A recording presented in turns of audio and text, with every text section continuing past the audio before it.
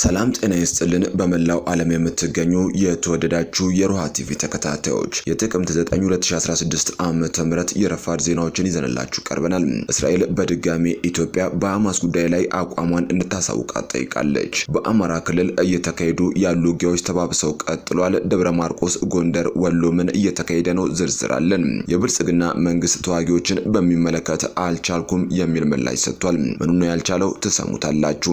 ኢትዮጵያና ኤርትራ ጦራቸውን እያስጠጉና እየፈተሹ ነው። ኤርትራ ጦሯን ወደ አሰብ አስጠግታለች። በዘገባችን ተካቷል። በአዲስ አበባ የደረሰ የእሳት አደጋ አለ። መካከለኛው ምስራቅ የገደል አፋፍ ላይ ነው ተብሏል። ባይደን ፑቲንና ሐማስ መቀጣት አለባቸው ብሏል። እስራኤል የአየር ድብደባዋን ቀጥላለች። ተመልካቾቻችን አብራችሁ ልትቆዩ ከፈቀዳችሁ እነዚህን መረጃዎች በዝርዝር የምናሰማችሁ ይሆናል። የሮሃ ቲቪ ወቅታዊና ቀኛ መረጃዎች እንዲደርሷችሁ ቻናሉን subscribe፣ like እና share በማድረግ አሁኑን ቤተሰብ ይሁኑ። ኢትዮጵያ የሐማስን ጥቃት እንድታወግዝ እስራኤል በድጋሚ ጠየቀች። ኢትዮጵያ የሐማስን ጥቃት እንድታወግዝና ከእስራኤል ጎን እንድትቆም በኢትዮጵያ የእስራኤል ኤምባሲ በድጋሚ ጠይቋል። የኢትዮጵያ ምክትል ጠቅላይ ሚኒስትርና የውጭ ጉዳይ ሚኒስትር ደመቀ መኮንን በኢትዮጵያ የእስራኤል አምባሳደር አለልኝ አድማሱን በጽህፈት ቤታቸው ተቀብለው በወቅታዊ የእስራኤል ሐማስ ግጭት ዙሪያ ተወያይተዋል። ስለ ውይይቱ ለአሜሪካ ድምፅ ማብራሪያ የሰጡት በኢትዮጵያ የእስራኤል ምክትል አምባሳደር ቶመር ባርላቪ ሐማስ የፈጸመውን ጥቃት ኢትዮጵያ በይፋ እንድታ ወግዝ በድጋሜ ጥሪ አቅርበናል ብለዋል። ሆኖም ሚኒስትሩ በማህበራዊ ድረገጹ ባጋራው መረጃ ውይይታቸው ለግጭቶች ዘላቂ መፍትሄ በማፈላለግ አስፈላጊነት ላይ ያተኮረ እንደነበረ አስታውቋል። ስለ ውይይቱ ዝርዝር ይዘት ግን የገለጸው ነገር የለም። በአማራ ክልል የተለያዩ አካባቢዎች ውጊያዎች ተባብሰው እንደቀጠሉ ነው። በአማራ ክልል የተለያዩ አካባቢዎች ሲካሄድ የከረመው ውጊያ ላለፉት ቀናት በተለያዩ አካባቢዎች ተባብሶ ቀጥሏል። ውጊያው ተባብሶ ከቀጠለባቸው አካባቢዎች መካከልም የሰሜን ወሎ ዞን አካባቢዎች፣ የጎጃም ምስራቅና ምዕራብ ዞኖች እንዲሁም የማዕከላዊና ደቡብ ጎንደር ወረዳዎች ይገኙበታል። በተለይ በጎጃም አካባቢዎች የነበረ ውጥረት ከፍ ብሎ ከባድ ውጊያዎች ተጀምረዋል። በተለይም በምስራቅ ጎጃም ዞን መቀመጫዋ ደብረ ማርቆስ ከተማ ትናንት የተጀመረው ውጊያ ተባብሶ መቀጠሉ ተሰምቷል። በትናንትናው ዕለት በከተማዋ ኮሌጅ አካባቢና ቦሌ ተብሎ በሚጠራው ሰፈር ከባድ ውጊያዎች ሲካሄዱ ውለዋል። ውጊያው በከተማዋ ዳር ላይ ባሉ አካባቢዎች በስፋት የተካሄደ ሲሆን መከላከያው ከባድ መሳሪያዎችን ሲተኩስ እንደነበረም ነዋሪዎች ተናግረዋል። በተጨማሪም የብልጽግናው መንግስት በከተማዋ ሶስት ቦታዎች ላይ የድሮን ጥቃት መፈጸሙ ተነግሯል።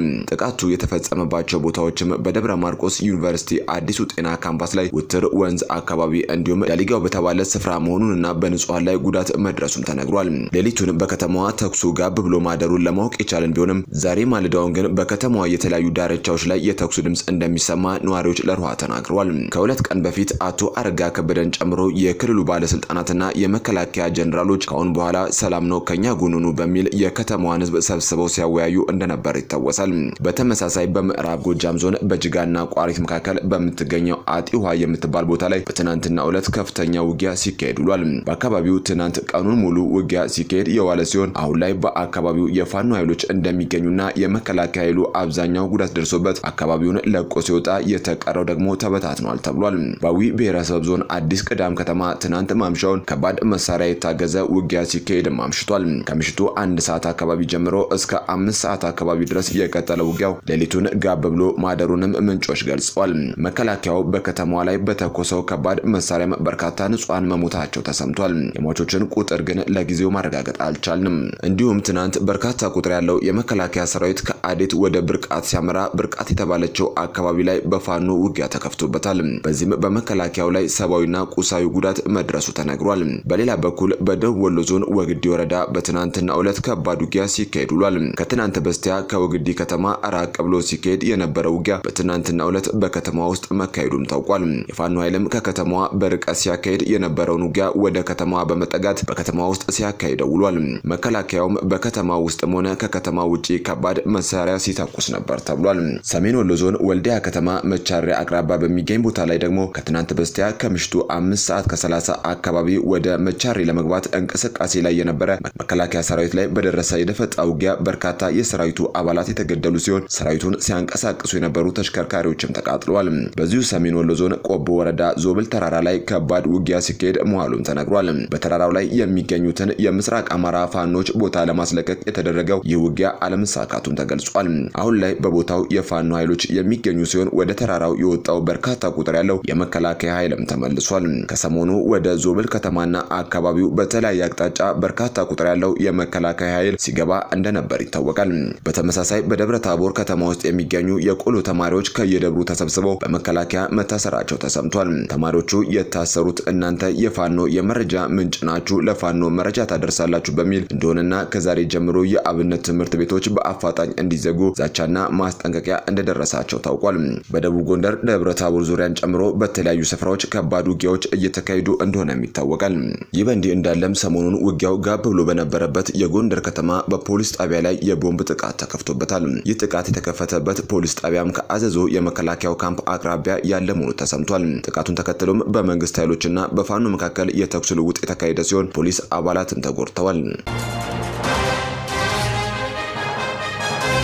የብልጽግና መንግስት የቀድሞ ተዋጊ የሚላቸውን አካላት ወደ ህብረተሰቡ መቀላቀል አልቻልኩም አለም። ቃል የተገባለትን ገንዘብ ማግኘት ባለመቻሉ የቀድሞ ተዋጊዎችን ወደ ህብረተሰቡ ለመቀላቀልና ለማቋቋም አለመቻሉን ብልጽግና ያቋቋመው የብሔራዊ ታድሶ ኮሚሽን የተባለው በአምባሳደር ተሾመ ቶጋ የሚመራው ተቋም አስታውቋል።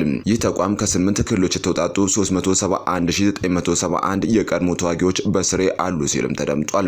ነገር ግን እነዚህን ተዋጊዎች ወደ ማህበረሰቡ ለመመለስ አቅጅ ቢሆንም አሁን ግን በገንዘብ እጥረት ምክንያት አልቻልኩም ሲል አስታውቋል። በስምንት ክልሎች በተለይም በርካታ የቀድሞ ተዋጊዎች ያሏቸው ትግራይ፣ አማራና ኦሮሚያ ያሉ ተዋጊዎችን ወደ ቀደመ ህይወታቸው ለመመለስ ታስቦ ነበርም ተብሏል። ይሁን እንጂ ተቋሙ በአማራና በኦሮሚያ ወደ ማህበረሰቡ ለመመለስ ያዘጋጃቸው ተዋጊዎች የትኛዎቹ እንደሆኑ በግልጽ ሲያሰፍር አይታይም። በኦሮሚያ ክልል የቀድሞ ተዋጊ የሚባልና በዚህ ኮሚሽን የታቀፈ ኃይል እንደሌለ ይነገራል። ምክንያቱም በክልሉ ያሉት የኦሮሚያ ልዩ ኃይልና የኦነግ ሸኔ ታጣቂዎች ሲሆኑ ሁለቱም በነበሩበት ግብራቸው በመቀጠላቸው የቀድሞ የሚል ስያሜ አላገኙም የሚል አስተያየትም ይሰጣል። በአማራ ክልል ደግሞ የአማራ ልዩ ኃይልና የፋኖ ኃይሎች ናቸው የሚገኙት። ታዲያ ብልጽግና ልዩ ኃይሉን ከሌሎች ክልሎች ቀድሜ አፈርሳለሁ በማለቱ ልዩ ኃይሉ ግማሹ ወደ ፋኖ ተቀላቅሏል፣ ከፊሉም ወደ ሌሎች የጸጥታ ዘርፎች ተመድቧል ተብሏል። ፋኖ ደግሞ የአማራ የህልውና አደጋ ሳይቀረፍ በሴራ ትጥቅ አልፈታም በማለቱ ጦርነት ተከፍቶበት ውጊያ ላይ ነው። እናም ጥያቄው በአማራና በኦሮሚያ የቀድሞ ተዋጊዎች ተብለው የሚገለጹት እነማን ናቸው የሚለው ሆኗል። የሆነ ሆኖ ግን ይህ የብልጽግናው ኮሚሽን በገንዘብ እጥረት ምክንያት የቀድሞ ተዋጊዎችን መልሼ ማቋቋም አልቻልኩም ብሏል። ኢትዮጵያና ኤርትራ ከሰሞኑ የጠቅላይ ሚኒስትር አብይ የወደብ እፈልጋለሁ ንግግር በኋላ ጦራቸው ላይ ትኩረት እያደረጉ ነው። የኢትዮጵያው ጠቅላይ ኢታማዦር ሹም ፊልድ ማርሻል ብርሃኑ ጁላ፣ ምክትላቸው ጀኔራል አበባው ታደሰ እንዲሁም የአየር ኃይሉ አዛዥ ጀኔራል ይልማ መርዳሳ እንደ ማንኛውም የብልጽግና የጦርነት ጅማሮ ዋዜማ ከባድ መሳሪያዎችን ሲጎበኙና ሲፈትሹ ታይተዋል። በአማራ ክልል ከፋኖ ጋር ውጊያ እያደረገ ያለው ብልጽግና ይህ የትናንቱ የጦር መኮንኖቹ ጉብኝትና ከባድ የጦር መሳሪያን በሚዲያ የማሳየት እንቅስቃሴ መልእክቱ ለኤርትራም ለአማራም ነው እየተባለ ነው። በተመሳሳይ የኤርትራ መንግስት ኢትዮጵያን በአፋር ክልል በኩል ከኤርትራ ጋር በሚያዋስነው ቡሬ ድንበር አንድ ክፍለ ጦር ማስፈሩ ተሰምቷል። የሆነው ከጠቅላይ ሚኒስትሩ ንግግር በኋላ ነው። በዚህም የሁለቱ ሀገራት ውጥረት ከፍ እያለ መሆኑን ያሳያል ተብሏል። በቦሌ ክፍለ ከተማ ሰላም ሲቲ አጠገብ የሚገኘው ፉድ ዞን የእሳት አደጋ ደረሰበት። አደጋው የደረሰው በትናንትና ዕለት ጥቅምት 8 2016 ዓ.ም ምሽት አምስት ሰዓት አካባቢ ሲሆን የአደጋው መንስኤ ለጊዜው አልታወቀም። የእሳት አደጋው እንዳይዛመት የአደጋ ጊዜ ሰራተኞችና የአዲስ አበባ ፖሊስ ከአካባቢው ነዋሪዎች ጋር በጋራ በመሆን ሊቆጣጠሩት ችለዋል ተብሏል። እስካሁን ድረስ በአደጋው ምክንያት በሰውና በንብረት ላይ የደረሰ ውድመት አልታወቀም። ዘገባው የኢትዮ ኤፍኤም ነው። ተመድ የመካከለኛው ምስራቅ በገደል አፋፍ ላይ ነው ሲል አስታወቀም። በእስራኤልና በሐማስ መካከል እየተካሄደ ባለው ግጭት ምክንያት መካከለኛው ምስራቅ በገደል አፋፍ ላይ ነው ሲል የተባበሩት መንግስታት ድርጅት ከፍተኛ ኃላፊ የሆኑት ፊሊፕ ላዛሮኒ ተናግረዋል። የተመድ ፍልስጤም ስደተኞች የእርዳታ ኤጀንሲ ኮሚሽነር የሆኑት ላዛሮኒ ዓለም አሁን ሰብአዊነቷን እያጣች ነው ብለዋል። ግጭቱ ወደ ሌሎች ቦታዎችም ሊስፋፋ እንደሚችልም አስጠንቅቀዋል። በጋዛ ያሉ ሰላማዊ ሰዎች ያሉበትን አስከፊ ሁኔታ ያነሱት ላዛራኒ በአካባቢው የሰብአዊ እርዳታ ኮሪደሮች እንዲከፈቱም ጥሪ አቅርበዋል። ይህ በእንዲህ እንዳለ የአሜሪካው ፕሬዝዳንት ጆ ባይደን ከዋይት ሀውስ ሆነው ለአሜሪካውያን ባስተላለፉት የቴሌቪዥን ንግግር ሐማስና ፑቲን እንዲያሸንፉ አልፈቅድም ብለዋል። ፕሬዝደንቱ የአሜሪካ ኮንግረስ ለእስራኤልና ዩክሬን በቢሊዮን የሚቆጠር የእርዳታ ገንዘብ እንዲፈቅድ እንደሚጠይቁ ገልጸው ወዳጅ አገራት ላይ ፊታችንን ማዞር አንችልም ብለዋል። ባይደን ኮንግረሱ ለሁለቱ አገራት እስከ መቶ ቢሊዮን ዶላር ድጋፍ እንዲፈቅድ ሊጠይቁ ይችላሉ የሚል ግምትም አለ። ፕሬዝዳንቱ በዚህ ንግግራቸው ሐማስን አሸባሪ፣ የሩሲያውን ፕሬዝዳንት ቭላዲሚር ፑቲንን ደግሞ አምባገነን ሲሉ ገልጸዋል። ባይደን አሸባሪዎችና አምባገነኖች ዋጋ መክፈል አለባቸውም ብለዋል። ዛሬ አርብ 19ኛ ቀኑን በያዘው ጦርነት ጋዛ ውስጥ የተገደሉ ፍልስጤማውያን ቁጥር 3785 መድረሱን የፍልስጤም ጤና ሚኒስቴር ባወጣው አዲስ አሃዝ አስታውቋል። ከነዚህ መካከል 1524 ህጻናት ሲሆኑ አንድ ሺዎቹ ደግሞ ሴቶች ናቸው።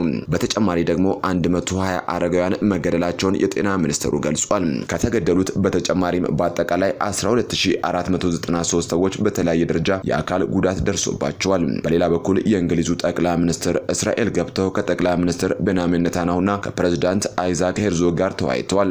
ከሰዓት በኋላ ደግሞ ወደ ሳውዲ አረቢያ ተጉዘዋል። የምዕራባውያን ሀገራት መሪዎችና ባለስልጣናት በአደጋ ውስጥ ሆነው ወደ እስራኤል እየተጓዙ መሆኑም እያነጋገረ ነው። ከሰሞኑ ወደ እስራኤል እና ግብጽ የተጓዙት የጀርመኑ መራሄ መንግስት ኦላፍ ሾልዝ ከሐማስ ሮኬት ማምለጣቸው ይታወቃል። ታዲያ ወደ አገራቸው ሲመለሱ በጀርመን የሐማስ ደጋፊ የሆነ አካል በሙሉ ከአገራቸው እንደሚባረር ዝተዋል። ተመልካቾቻችን የሰዓቱ የሮሃ ቲቪ ዜናዎች የተከታተላችኋቸውን ይመስሉ ነበር። አብራችሁን ስለነበራችሁ ከልብ እናመሰግናለን። ሰላም